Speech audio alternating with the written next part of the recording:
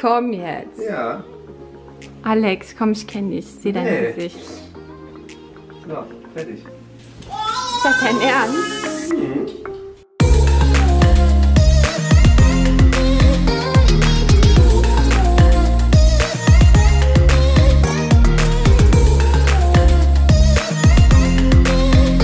Hallo und herzlich willkommen zu einem neuen Video von uns beiden. Ich habe mir eine schöne Videoidee überlegt. Hallo, willst du Hallo sagen? Hallo. Hallo. Wir hab, ich habe mir überlegt, ähm, dass Alex die ganze Woche über meine Outfits aussuchen kann. Du brauchst dich festhalten. Ich bin Okay, heute das dann- Kamerakind. Alles klar. Dann komm mal mit, weil ich habe Alex schon erzählt, worum es geht.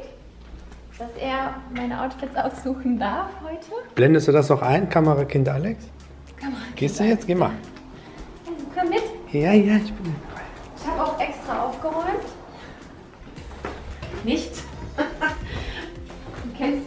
Also Alex kennt natürlich hier diese Situation in unserem Ankleidezimmer. Es ist alles sehr eng.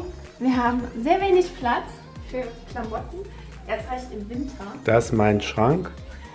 Hier. Der eine, Das ist Alex Bereich. das ist Nina. ja. Trotzdem habe ich noch zu wenig Platz. Und da. Und da. Da hast du auch. Lügt doch nicht. Okay. So, was soll ich jetzt machen? Ich wollte noch sagen, im Sommer habe ich hier ein bisschen mehr Platz. Wintersachen sind alle super dick. Okay, also Tag Nummer 1. Ich habe jetzt schon was an, aber ich gehe jetzt gleich äh, in die City. Dafür brauche ich jetzt ein Outfit. Okay. Also wenn ich jetzt zu Hause bleiben würde, würde ich das anlassen. Dann nimm mal, dann Okay, suche ich dir was was. aus. vor. Das musst du dann aber auch anziehen, ne? Äh, genau, ich drehe das auch morgen noch weiter, also nicht für die verschiedenen Tage. Also ich muss ganz kurz noch dazu sagen, hier sind so meine Hosen. Hör mal kurz zu, Ja. damit du nicht 100 Jahre brauchst zu suchen. Hosen, Ja. hier sind so Röcke. Hier sind Oberteile, auch ein bisschen nach Farbe sortiert. Auch hier sind so Kleider. Hier sind noch so ein paar Jacken, also es ist jetzt nicht so eine großartige Ordnung drin. Und hier sind auch noch Pullover. Alex mag nicht so viele Sachen von mir.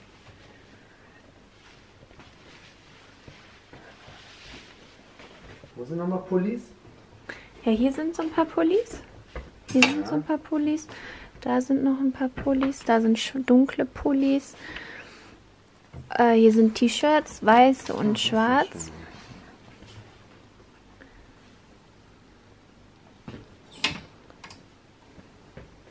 Oh, das ist schön.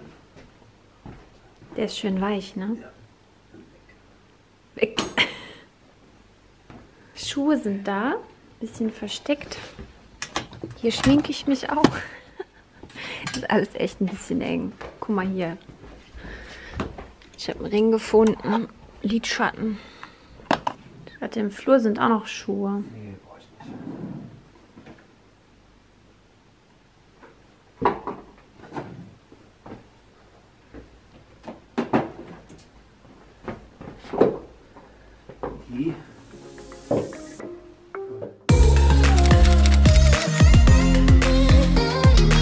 So, also Outfit Nummer 1. Das, was der Alex jetzt ausgesucht hat. Der Pullover ist von H&M, den habe ich noch gar nicht so lang. Der ist super schön weich. Guck mal, ob ich euch den verlinken kann, weil kann ich euch sehr empfehlen. Die Hose ist schon älter, die ist von Zara. Und die Schuhe auch. Nee, Quatsch, die Hose ist von Naked. Und die Schuhe sind von Zara. Die habe ich auch schon ewig nicht mehr angehabt. Ich trage halt öfter Sneaker so im Alltag. Aber die sind eigentlich auch ganz bequem. Der Absatz ist auch nicht so hoch. Die haben hier so einen Reißverschluss an der Seite. Also die gehen eigentlich auch. So unbequem sind die gar nicht. Also gut, hat Alex schon mal gut gemacht, würde ich sagen. Der ist übrigens gerade wieder arbeiten. Der hatte nur Mittagspause gemacht. Und ich würde solche Punkte vergeben. Also ich finde es auf jeden Fall schon mal gut. Ich sage schon mal Daumen hoch. Und ich fahre jetzt in die Stadt. Ähm, ich habe ein bisschen Zeit, weil meine Mama heute da ist und auf die Kinder aufpasst. Die ist extra aus Wesel gekommen. Und ähm, ich werde jetzt ins Nagelstudio gehen, mir meine Nägel wieder fresh machen. Ich weiß ja nicht, wann ich das nächste Mal wieder die Gelegenheit habe, meine Nägel machen zu lassen. Ich werde dieses Mal aber nur Shellac machen. Fragen auch ganz viele nach. Ich habe jetzt Gel und das finde ich ein bisschen... Ah, Shellac kann man auch mal alleine abmachen, wisst ihr, wie ich meine? Und Gel halt nicht. Da ist man so darauf angewiesen, zum Nagelstudio zu gehen. Und die werden auch ein bisschen kürzer, weil die halt... Die wachsen so schnell, meine Nägel. Egal. Lange Rede, kurzer Sinn. Outfit hat er gut gemacht. Ach so, der Mantel. Das an hat sich die Holly wieder verewigt. Die hat da gerade auch schon wieder drauf gelegen. Ich habe so eine Fusselrolle im Auto. Dann werde ich die, den Mantel so überwerfen. Das ist nämlich, glaube ich, zu warm heute. Aber ist ein cooler Look. So, ich war gerade beim Nägel machen. Ich bin auch gerade hier auf Toilette. Die haben ja einen Spiegel voll, den ganzen Körperspiegel. gut. Ich filme ja von der Toilette. Ich würde nur sagen, ich habe das Outfit an und fühle mich echt wohl, muss ich sagen. Hat Alex echt gut gemacht. Das ist ein Special-Effekt, das macht man so. Machst du keine Hose an? Hör mal, wie war eigentlich deine Nacht?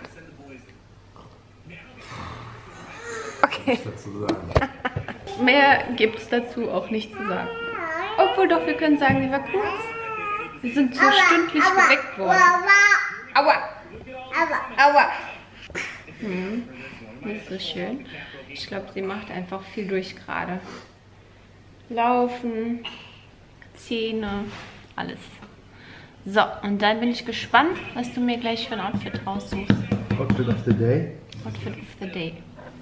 Ich werde heute Koffer packen für morgen und spazieren gehen. Hat Leisa sich eingeschlossen? Leise hat die Tür zugemacht und kann sich die auf. Warte mal. Hey du! Ich habe auch coole Sneaker im Flur, ne? Aber ich will dich Ja, nicht beeinflussen. Schuhe an. Man kann das auch rausziehen. Du hilfst mir, ne? Wir suchen was für Mama raus. Leisa räumt immer meine Schubladen aus. Genau, guck mal, was da drin ist. Gemütliches vielleicht, sportlich. Ja.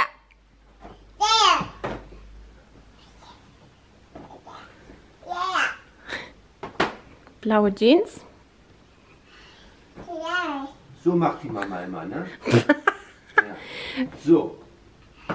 Du hast doch gestern den angehabt. Das ist ein Cardigan, der, den ich gestern anhatte, ist in der Wäsche. Das ist ein ganz langer, langer ähm, Cardigan halt so zum Aufmachen. Wie so ein langer Mantel. Das Nee. wäre jetzt dein Vorschlag. Zieh mal Nee. das an. Das ist ein kurzer Pulli, der ist so ganz kurz. Aber ist gut, ich kann es mal anfassen. Das ist so einen kurzen Pulli und dann die, die, die, den zweiten Ja. Pulli drüber. Ja. Pulli über Pulli, meinst Ja. du? Echt jetzt? Ja. Okay. Ein Geist.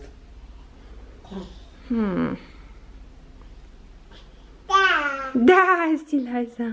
Ja, zieh das mal an. Willst du mich jetzt ärgern, ne? Was? Nee. Komm mal, du jetzt. Hast du mir extra jetzt rausgesucht? Jetzt willst du, dass ich extra doof aussehe, oder Nee. was? Komm, du musst dir ein bisschen Mühe geben. Ja, tu ich ja. So. so. Machst du extra? Nein, das würde ich anziehen. Komm jetzt. Ja. Alex, komm, ich kenne dich. Ich sehe dein Nee. Gesicht. So, fertig. Das ist ein Outfit of the Day. Nicht dein Ernst. So, So machst, du, machst du eigentlich ein Foto damit? Ja, ne? Wolltest du ein Foto damit machen? das soll ich jetzt Alles anziehen? klar. Nee, warte doch mal, Schatz, bitte. Nee. Ist das dein Ernst?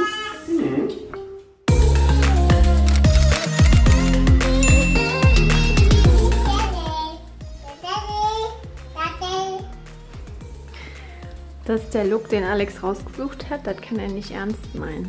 Wirklich jetzt. Das hat er hundertprozentig gemacht, um mich zu ärgern. Wie sieht das aus hier? Hallo, das ist doch... Ich bin jetzt mit Leisa spazieren. Ich konnte mich noch nicht mal richtig fertig machen. Mal. Ich habe jetzt nur andere Schuhe angezogen. weil Die, die gingen gar nicht. Ich konnte noch nicht mal drin laufen. Das sind wirklich richtige Winterschuhe. Also ich habe die größer gekauft und ziehe da eigentlich ähm, so dicke Socken drunter. Ich versuche jetzt zu packen. Ich habe jetzt den Pulli noch an. Ich habe die Hose ausgezogen. Die war so unbequem. Das konnte ich einfach nicht mehr. Jetzt so viel zu Hause ist das so unangenehm einfach. Die ist eigentlich ganz cool, aber die ist sehr ungemütlich. Deswegen habe ich jetzt meine gemütliche Hose angezogen. Also Luis und ich, wir fahren morgen nach Hamburg und dafür packe ich jetzt. Ich habe mich jetzt für einen Koffer entschieden. Ich habe erst überlegt, zwei kleine Koffer oder einen großen und habe mich für einen großen entschieden, weil die Gefahr besteht, dass man einen kleinen Koffer irgendwo stehen lässt oder ist, glaube ich, ein bisschen umständlicher als einen großen. Und dafür packe ich jetzt und ich habe keine Ahnung. So ein gemischtes Wetter irgendwie.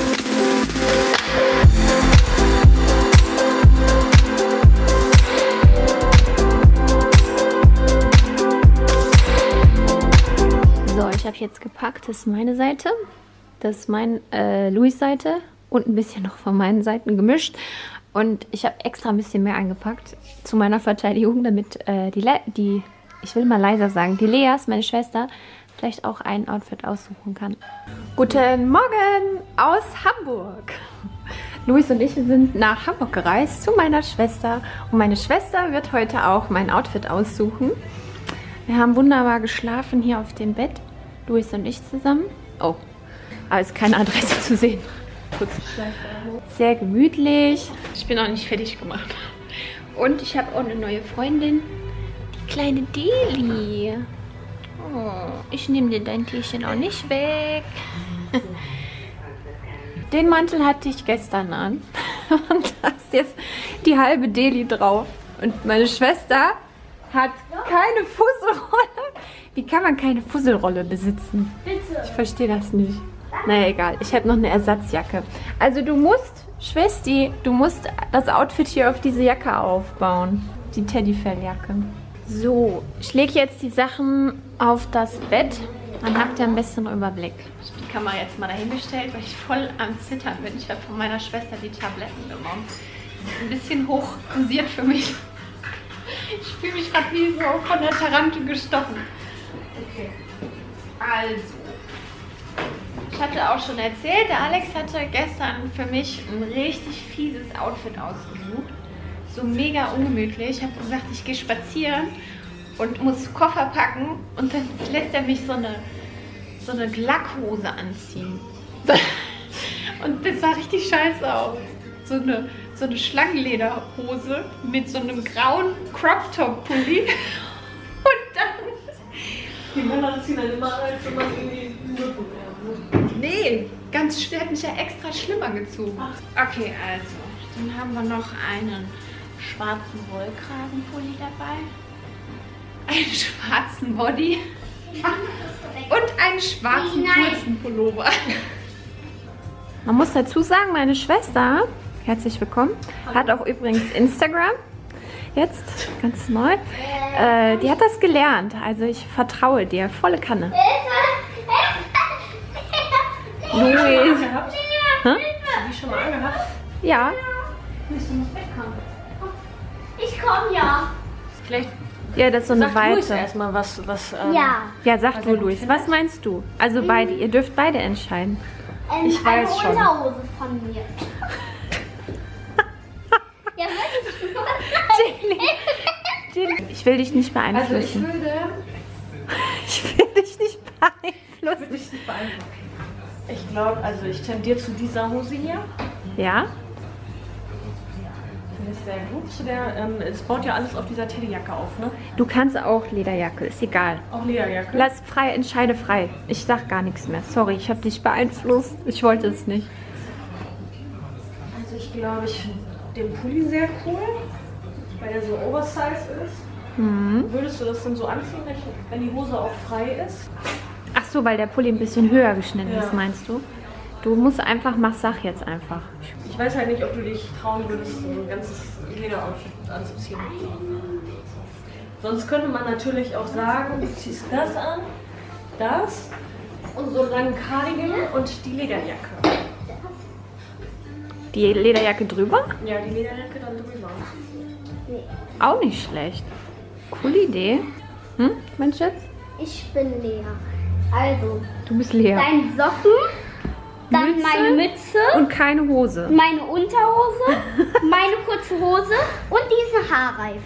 Das soll ich anziehen. Und was ziehe ich für ein T-Shirt an? Gar nichts, oder wie? Ja, nee, warte, das habe ich nicht gesehen. Also mein First Favorit ist Ich ganz ziehe jetzt. Outfit in Schwarz. Number one. Weiß ich nicht, wie, äh, ob dir das so gefällt mit den Schuhen und so und ob das dir zu schwarz ist. Und ansonsten Sitzen. diese Cardigan. Jacke hierzu und dann die Oversize ähm, Lederjacke Ja. und darunter ein T-Shirt in weiß. Ob eng oder locker müssen wir dann gleich sehen. Ja.